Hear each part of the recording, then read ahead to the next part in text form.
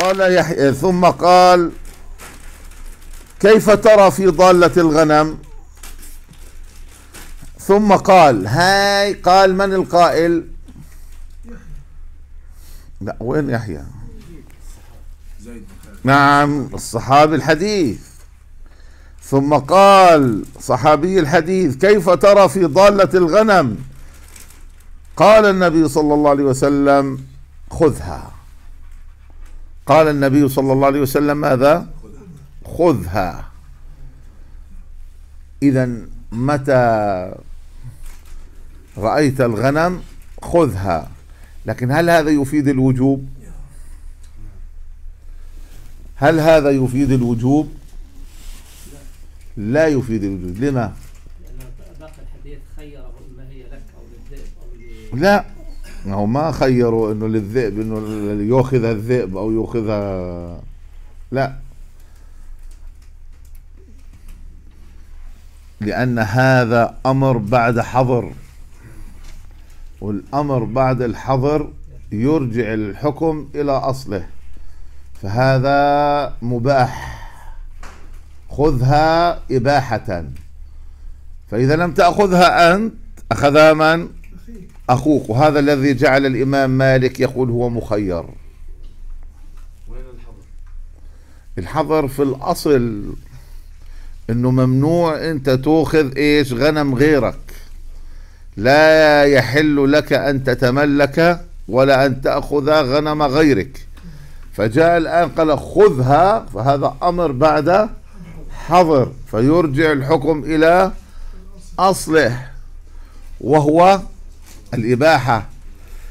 خذها فإنما هي لك. فإنما هي لك. لك إيش؟ لام. ها. هي لك. ماذا؟ تملكا. ولك إيش؟ أكلها. أو لأخيك. أو لأخيك تملكا وأكلها. أو للذئب إيش؟ أكلها. فاذا لا يوجد غير هاي إيش؟ الخيارات الثلاث. هي لك أو لأخيك أو للذئب. وعدا عن ذلك فهي ليست.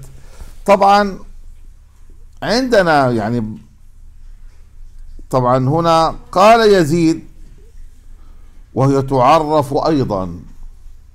آه طيب بما أنه قال هي لك تملكا وأخذها وأكلها. طب هل تعرف؟ في اللقطة ذكر التعريف. طب هنا لم يذكر. فهل تعرف؟ فقال يزيد وهي تعرف أيضا. لكن شو ماله هذا؟ ليس بمرفوع إلى النبي صلى الله عليه وسلم. ليس بمرفوع إلى النبي صلى الله عليه وسلم. لكن انظر رواية مسلم. في قوله قال يزيد وهي تعرف أيضا ليس مرفوعا إلى النبي صلى الله عليه وسلم.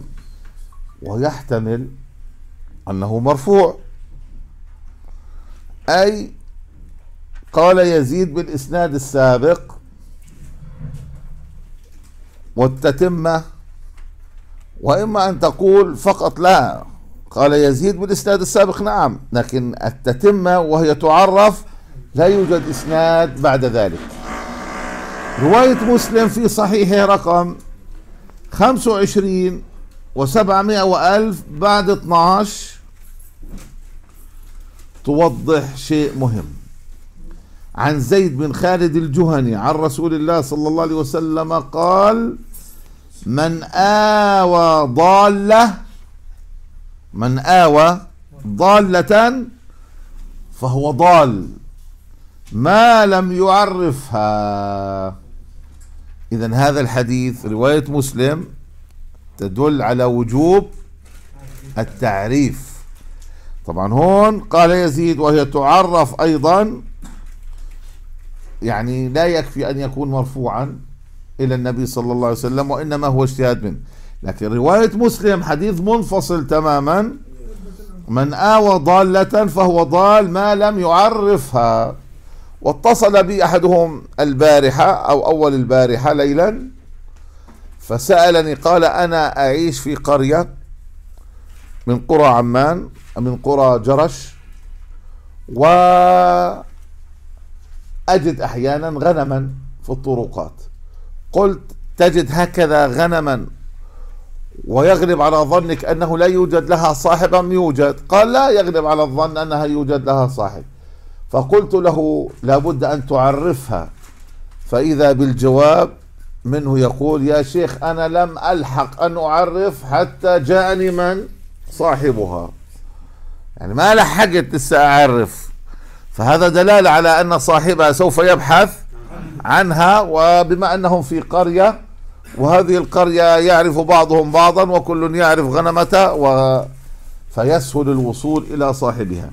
فإذا آواها ولم يعرفها فهو ضال عن الأمر ليس سهلا. طيب الحقيقة في رواية أبي داود.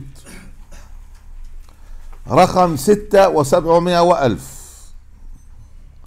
قال فاعرف عفاصها ووكاءها ثم كلها. فإن جاء باغيها أي صاحبها فأدها إلي آه. إذا الوديعة اللي ذكرناها قبل قليل ما بها؟ أصبح هناك لها شاهد. وين؟ في الحديث. أنه لا بد أن تؤدي لصاحبها.